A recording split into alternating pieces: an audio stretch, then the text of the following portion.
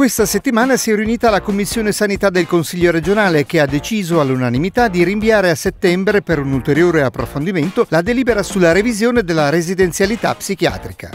In settimana si è anche riunita la Commissione Lavoro che ha esaminato il disegno di legge per favorire la costituzione delle associazioni fondiarie e la valorizzazione dei terreni agricoli e forestali. Una delegazione di cuochi cubani in Piemonte per svolgere un tirocinio formativo sulla cucina italiana è stata ricevuta a Palazzo Lascaris dalla vicepresidente del Consiglio regionale. L'evento è stato promosso dall'Associazione Cuochi di Torino e provincia.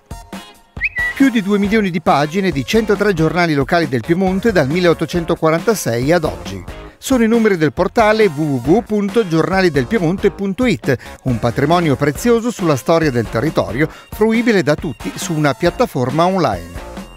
Scade il prossimo 13 ottobre l'edizione 2016 del premio Gianni Oberto, concorso bandito dalla Biblioteca della Regione Piemonte per promuovere e diffondere la cultura piemontese. Il bando è riservato a laureati in discipline letterarie e umanistiche presso le università piemontesi. Sono 18 le mostre itineranti del Consiglio regionale che possono essere richieste in prestito gratuito e allestite presso enti piemontesi. Nella sezione mostre del sito dell'Assemblea è consultabile e scaricabile il catalogo con le esposizioni disponibili.